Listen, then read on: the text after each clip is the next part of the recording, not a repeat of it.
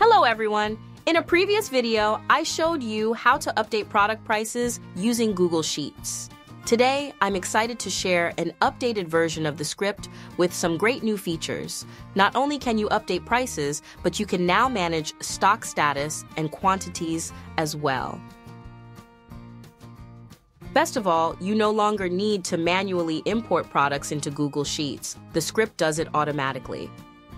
Let's dive right in. First, go to the link in the description and copy the script. If you are a WP Cookie Plus user, use the Plus version. Otherwise, use the free version. They both work the same, and there's no difference between them. Open a Google Sheet and, from the Extensions menu, click on Apps Script delete the existing code and paste the code you copied. Next, we need to get the API keys.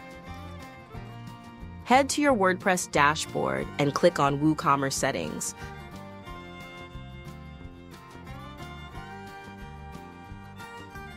Go to the Advanced tab and select REST API.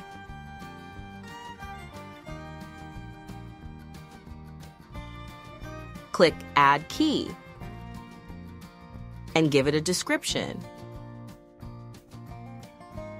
Set the permissions to read and write. Generate the API keys. Next, copy these keys inside the script.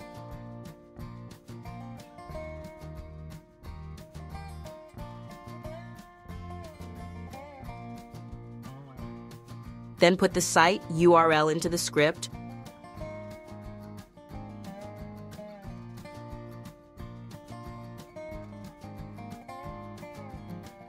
Remember, the URL should have a trailing slash. Save the script and click on the deploy button. Click the gear icon, choose web app, write a description, and click deploy.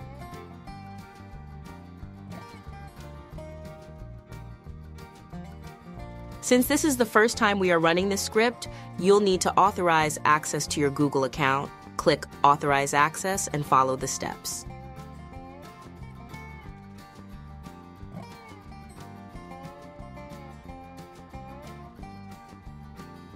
Go back to Google Sheets and refresh the sheet to load the script.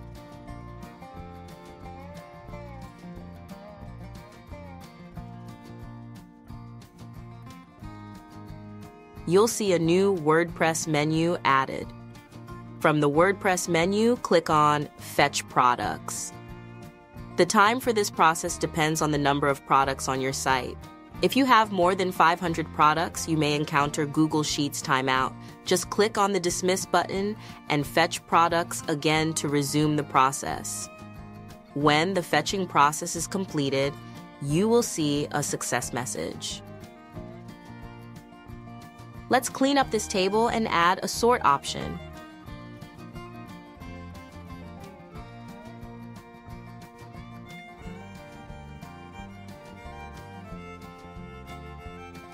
This is our store.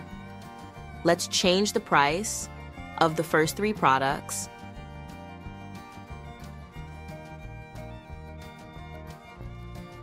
When I am changing the price, the update checkbox will be checked. If you are uh, um, updating the price by formula, you should manually check the update columns for those products. When you are done, from the WordPress menu, click on the Send Updated Prices.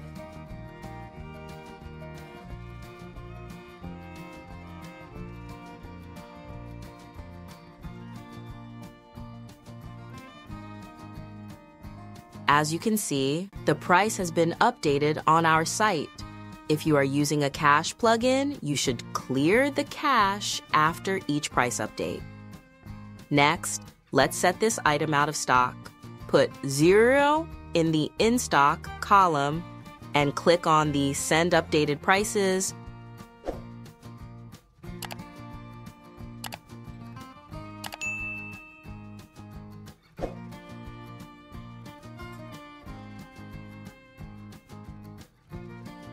Next, change the stock quantity for these products. I will change in stock to 1 and put 5 in the stock columns.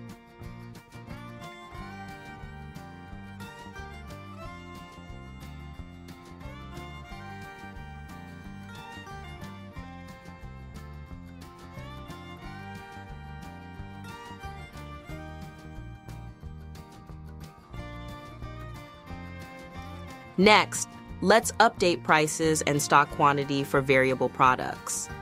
This shirt is a variable product.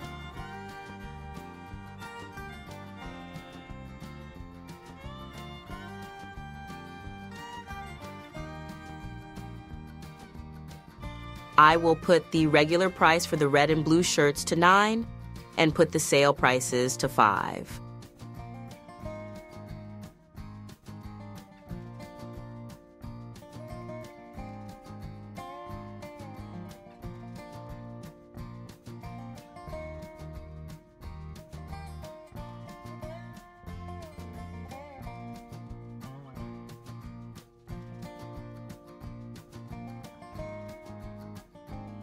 Now let's set the stock quantity for each shirt.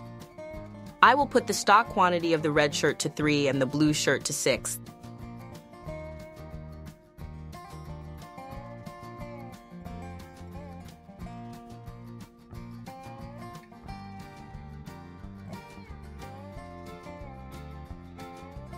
Now we have a working system to manage our store directly from Google Sheets. If this video was helpful for you, please like it. If you want me to create more videos, please subscribe and share this video to spread the word. Thank you for watching.